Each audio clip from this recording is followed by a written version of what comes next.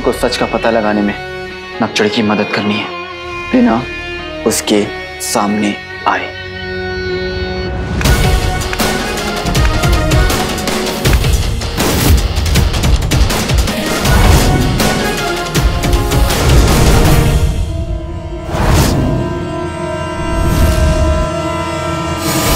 मैं भी तुम सबके साथ सबके साथ। सबके साथ सबके साथ। ये काम मुश्किल है गुल्लू।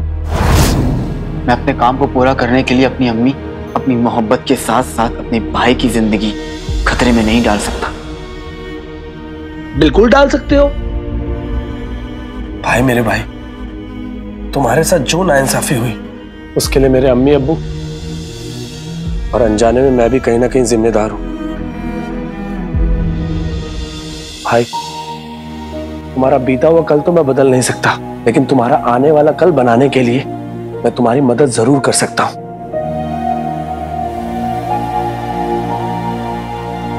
क्योंकि अगर मैंने ऐसा नहीं किया तो मेरे आने वाली सात पुश्ते मेरी अम्मी अब्बू जैसी निकलेंगी।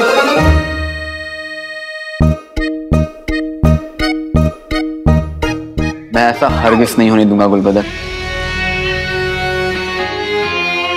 लेकिन सबसे पहले तुम्हें नकचड़ी, यानी शहजादी की देखने में मदद करनी होगी।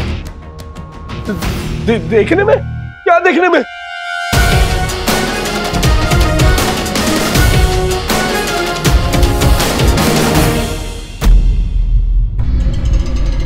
देखिए देखिए आका ये तो सिर्फ़ एक छोटा सा नमूना है। असल दरवाजे के पीछे तो इससे ज़्यादा कहीं खतरनाक दर्दनाक मुसीबतें मिलेंगी। बकवास बंद करो। हमें नहीं देखने ये नमूने। आप मुझ पे तो हुक्म चला सकते हैं। लेकिन असल दरवाज़ा तो? बाढ़ में गए असली दरवाजे और बाढ़ में गए ये सारे के सारे नमूने।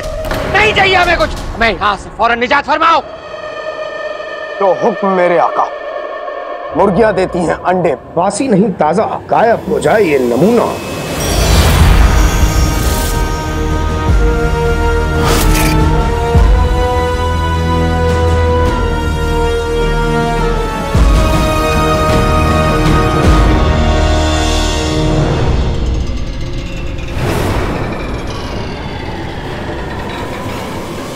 चिराग के दिन तुम्हें हमारी बात समझ में नहीं आती या तुम्हें सुनाई कम पड़ता है। का मुझे आपकी सारी बातें समझ में भी आती हैं और सुनाई भी ठीक देता है। क्यों?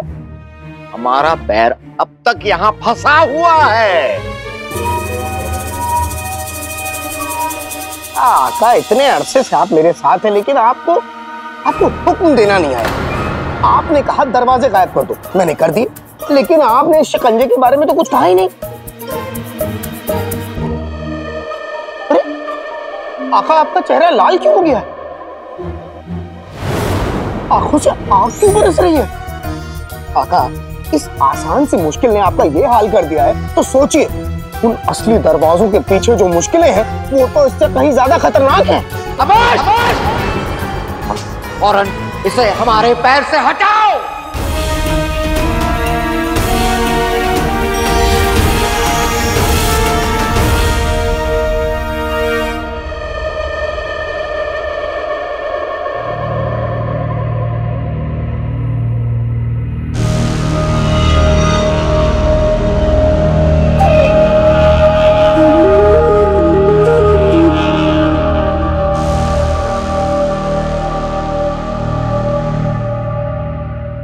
बताओ राज कायनात तक पहुँचने के लिए अगला कदम क्या है? आका हमें जादुई कमरे से होते हुए खुफिया रास्ते तक पहुँचना होगा जिसमें चल के हम उन तीन दरवाजों तक पहुँचेंगे। लेकिन उससे पहले आपको थोड़ी और मेहनत करनी होगी। इतना सारा सोना दे दिया सोन मीनार खड़ा कर दिया अब और क्या करना होगा? आका बहुत मेहनत बाकी है। अभी हमें एक चुड़ैल की चोटी और एक बेवकूफ़ की टोपी दोनों चाहिए।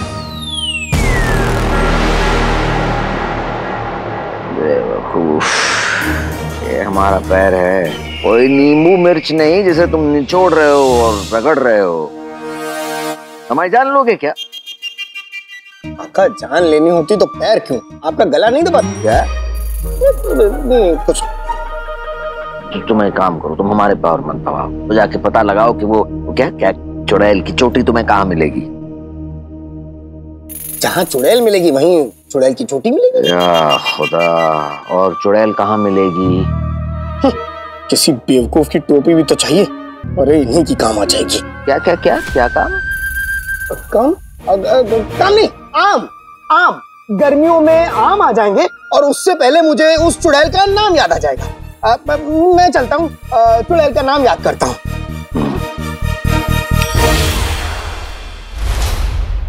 भाई, मेरे भाई अलादीन की मदद करने में मैंने कोई जल्दबाजी तो नहीं कर दी। या खुदा, शहजादी के सामने जाते ही मेरी ज़ुबान पर ताले पड़ जाते मुँह में दही जम जाती है और हाथ पाँव कर जाते क्या करूँ?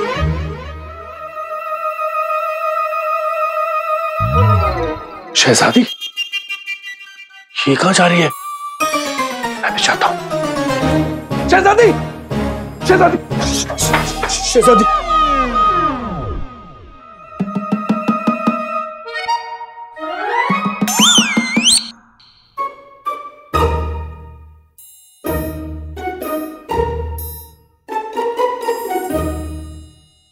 सीधे सीधे जो बोलना है बोलो गुलबदन वरना हम जा रहे हैं। नहीं नहीं रुकिए रुकिए रुकिए रुकिए इधर आइए इधर आइए। ओ, ओ, द- द- द- द- शहजादी दरअसल बात यह है कि कैसे कहूँ बोलो। बादशाह सलामत का कत्ल अलादीन ने नहीं वज़ीर आला ने किया था।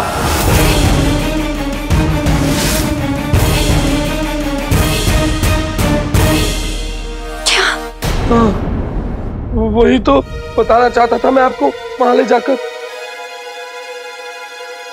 अच्छा हुआ तुमने हमसे ये कह दिया। वरना किसी और को कह देते तो मुश्किल हो जाती सूबेदार। आपकी आवाज़ को क्या हुआ?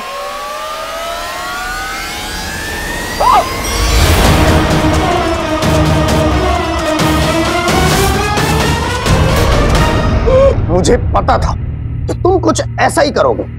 इसीलिए मैंने तुम्हारे साथ ये खेल खेला। तुम्हें क्या लगा? तुम ऐसे ही बड़ी आसानी से शहजादी को सब सच बता दोगे? नहीं नहीं, नहीं। अब देखना मैं तुम्हारे साथ क्या करूँगा?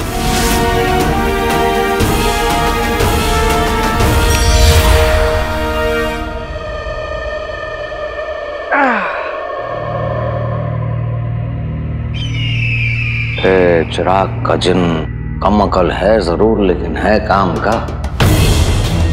हमें पूरा यकीन है कि राज कायनात तक और उन सारे खुफिया दरवाजों तक पहुँचने के लिए यही हमारी मदद करेगा। मुझे कहीं नहीं जाना। ना ही कुछ देखना, ना ही मैं किसी को कुछ बताऊँगा। ना ही मैं ये बताऊँगा कि बादशाह सलामत का कातिल अभी तक ज़िंदा ना ही ये बताऊँगा कि भाई मेरा भाई अभी तक ज़िंदा है ही ये बताऊँगा कि कि मैं अभी तक ज़िंदा हूँ। मुझे नींद में बड़बड़ाने की बीमारी है इसलिए मैंने ये सब बोल दिया लेकिन अभी बीमारी ठीक हो गई है। मुँह बंद करके आँखें खोलो।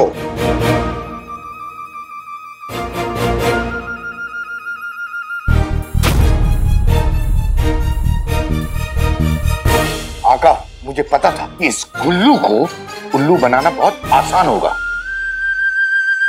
तुम्हारा इम्तिहान लेने के लिए हमने तुम्हारे सामने पहले शहजादी उसके बाद जीनू उर्फ़ जुनैद का बहम पैदा किया। और तुम उन्हें देखते ही अनाप शनाप बातें करने लगे। हाँ? मतलब अभी अभी जो कुछ भी हुआ वो मुझे लगा कि हुआ पर असल में वो हुआ ही नहीं। हाँ गुल्लू। हाँ। आका इससे ना हो पाई। क्यों ना हो पाई? हो भाई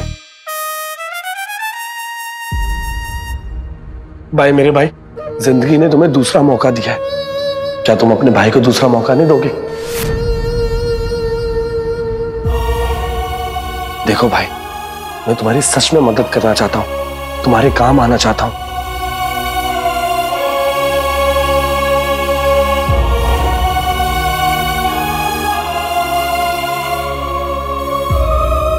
मैं जानता हूँ गुलबदन। तभी तो तुम्हें एक ज़रूरी काम दे रहा हूँ। जो ना मैं कर सकता हूँ और पकड़े जाने के खतरे की वजह से ना टोली कर सकती है। सिर्फ़ और सिर्फ़ तुम कर सकते हो, गुलबदन। डरना मत, हम सब तुम्हारे साथ हैं।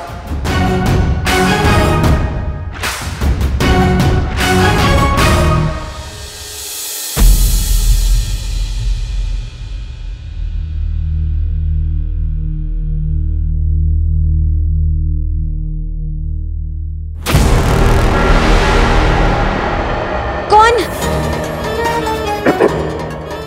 पूरे बगदाद में झूठ का कोहरा फैल चुका है। सच देखने के लिए आपको मदद की ज़रूरत पड़ेगी।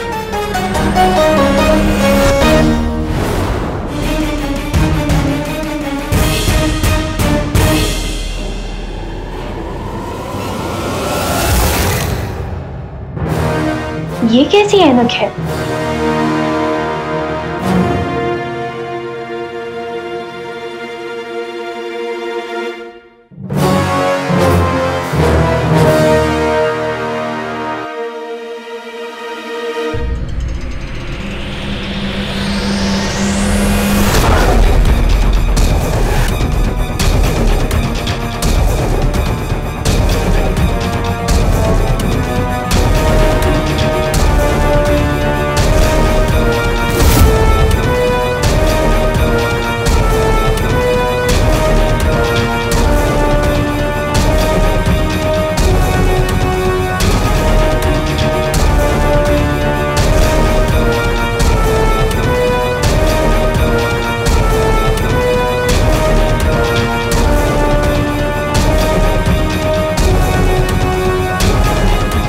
गौर से गहराई में जाके आँखें खोल के देख जरा। तूने जितना सोचा था, सच उससे ज़्यादा होता है। सुल्तान शाहनवाज।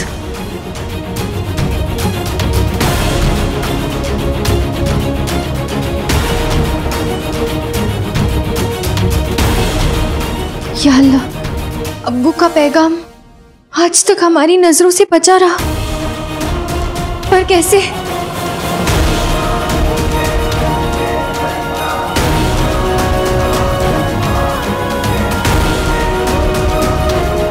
अब्बू का पैगाम हमें सिर्फ़ इस ऐनक से दिख रहा है। आखिर क्या राज है इस ऐनक का? ये हमें दिखाना क्या चाहती है?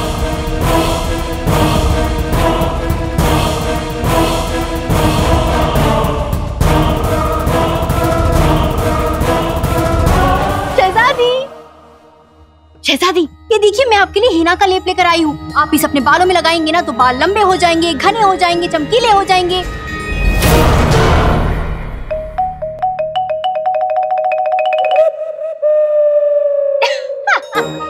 आप इस इनक के साथ मुझे देख के ऐसे हंस क्यों रही है? क्योंकि पिद्दी लेप की हमें नहीं तुम्हें ज़्यादा ज़रूरत है। मतलब? पिद्दी खाला आप बूढ़ी हो रही है। आपको तो सफ़ेद बाल आ गया है। अल्लाह शहजादी आपको कैसे पता चला? आपको पता चल गया इसका मतलब सबको पता चल जाएगा सबको पता चल जाएगा उसके बाद बस बस। ये हो जाएगा तो वो हो जाएगा वो हो जाएगा तो ये हो जाएगा ये वाली दास्तान मत शुरू करो और किसी को पता नहीं चलेगा। लेकिन आपको तो पता चल गया ना। हम बगदाद की सुल्ताना है। हमारी नज़रों से ज़्यादा देर तक कुछ छुपा नहीं रहता।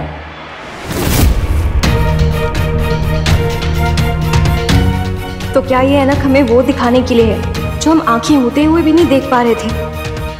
पर ये ऐनक यहाँ रखी किसने? भाई मेरे भाई अब तक तो शहजादी सच्चाई की ऐनक की खासियत समझ गई होंगी ना? खुदा करे तुम्हारी तरकीब काम कर जाए। शहजादी उस ऐनक का इस्तेमाल कर ले।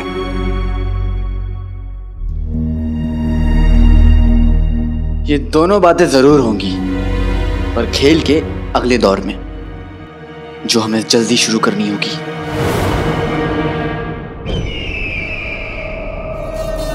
रात के दिन तुम हकीम बनकर मुफ़्त इलाज के बहाने बाज़ार में औरतों को इकट्ठा तो कर लोगे। इस बात की मालूम कैसे होगी कि चुड़ैल कौन है? नींबू मिर्ची की मदद से आका। मेरा मतलब है हाय भाईजान चिराग पिजन पुदीने की चटनी नहीं बनानी है चुड़ैल ढूंढनी है हमें। पुदीने की चटनी बिना नींबू मिर्ची के बन सकती है लेकिन चुड़ैल बिना नींबू मिर्ची के नहीं। आका मैं अपने जादू का ऐसा जादू करूँगा कि नींबू मिर्ची जब मेरे पास रहेगा और और सभी खवातीनें इस नीम हकीम यानी कि मेरे पास आएँगी तो वो नींबू मिर्ची तभी लाल होगा जब इर्द गिर्द कोई चुड़ैल होगी। तुम्हें यकीन है कि ये नुस्खा काम कर जाएगा और नींबू मिर्च लाल होंगे? बेशक। जिस तरह से बच्चे के कान रोड़ते ही उसका कान लाल हो जाता है और जिस तरह मैं आपको देखते ही खुशी से लाल हो जाता हूँ उसी तरह नींबू मिर्ची भी उस चुड़ैल को देखते ही लाल हो जाएगा। दावा बड़ा भी है और मज़ेदार भी। लेकिन अगर चुड़ैल नहीं मिली तो? भाईजान कैसी बातें कर रहे हैं? जब जीत पक्की हो तो हार के बारे में क्यों सोचना? खैर फ़िलहाल, आप आराम कीजिए, मुझे कल के लिए काफ़ी तैयारियाँ करनी चलता हूँ, खुदा हाफिज।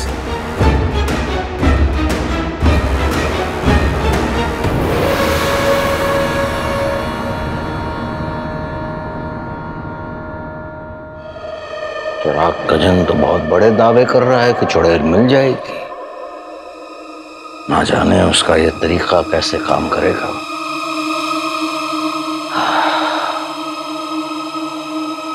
हाँ मिलेगी चुड़ैल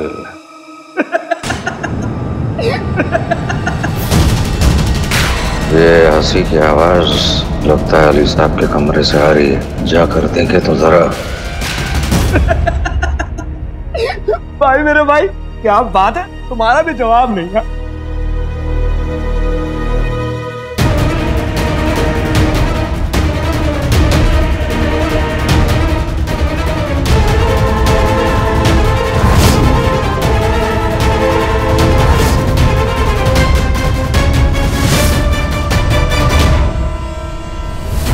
अली साहब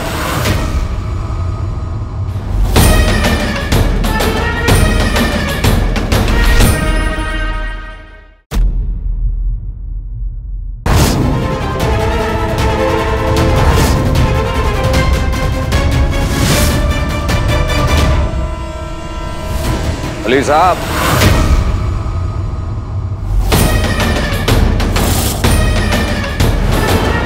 सुबेदार गुलबदन ये क्या हो रहा है? आ, वो वो वज़ीर आला। वो वज़ीर आला क्या है ना? अलादीन के चलाक भूत ने बड़ी चालाकी से इतने दिन तक हमें परेशान किया। पर वज़ीर आला मैं भी चलाक कम नहीं हूँ। इसलिए मैं यहाँ आकर ये देखना चाहता था कि कहीं उस चलाक भूत ने और चलाकी दिखाकर महल में किसी पर काबू तो नहीं कर लिया? चालाक कहीं का वो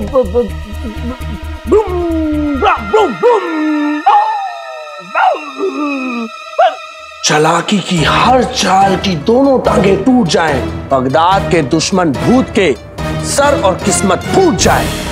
अब वज़ीर आला वो ये मुझे किसी फकीर ने सिखाया था। और आप लकीर के फकीर के आपने उनसे भोंकना भी सीख लिए वैसे ये है क्या? वज़ीर आला इन जैसों के लिए ये सब क्या है? कुछ भी करते हैं कुछ भी कहते हैं। जहालत के मैदान में घास चढ़ते हैं। जाओ जाकर अपना और भी घास चढ़ो जाके।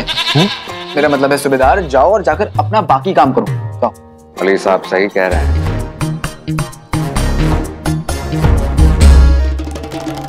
आदाब। आदाब वज़ीर आला अच्छा वज़ीर आला आपने इसे भेज दिया। आइए। बैठिए आला और बताइए कि आपको यहाँ कैसे आना हुआ? अब तो अलादीन की रूह चली गई। अब आप दोबारा अपने असली मकसद को तवज्जो दे सकते हैं। आपका अगला कदम क्या होने वाला है? अली साहब, हम सोच रहे हैं कुछ दिनों के लिए कोई कदम ना उठाए। अब हमने अपने असली मकसद तक पहुँचने के लिए इतना इंतज़ार किया है। थोड़ा इंतज़ार और कर लें। क्या फ़र्क पड़ता है? हम एक बात समझ गए हैं कि जल्दबाजी करके कोई फ़ायदा नहीं होता। रात काफ़ी हो चुकी है। आप आराम करें। जी।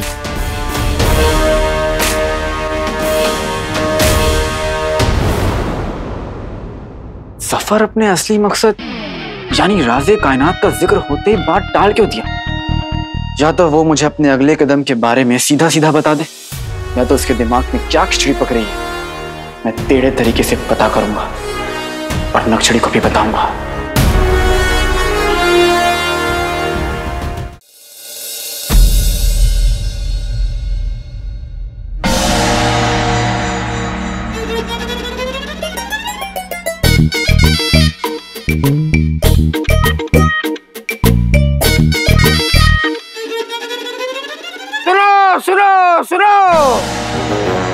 देखो तंदुरुस्ती हो अपनी तो मर्ज पर आए। सभी औरतें अपना इलाज कराएँ वो भी मुफ़्त मुफ़्त मुफ़्त।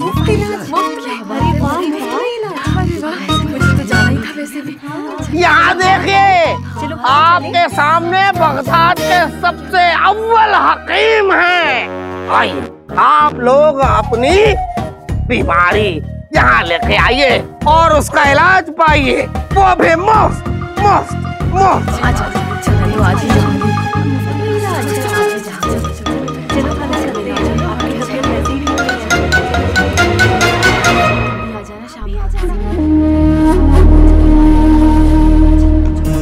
मेरी तरकीब ज़रूर काम आएगी।